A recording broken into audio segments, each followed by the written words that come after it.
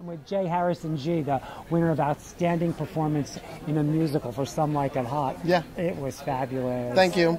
You've taken us on a journey that's remarkable. Thank you. Is it your journey too? Yeah, and that's what I'm excited to share with audiences that freedom, that joy. Um, there's a little Daphne in everybody. You just got to free yourself to see yourself.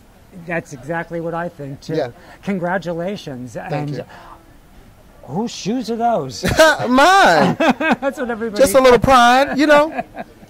You look wonderful. Thank you. Congratulations. This is two legs of a trifecta, maybe. Yeah, yeah. Thank luck. you so much. Oh, I wish you luck.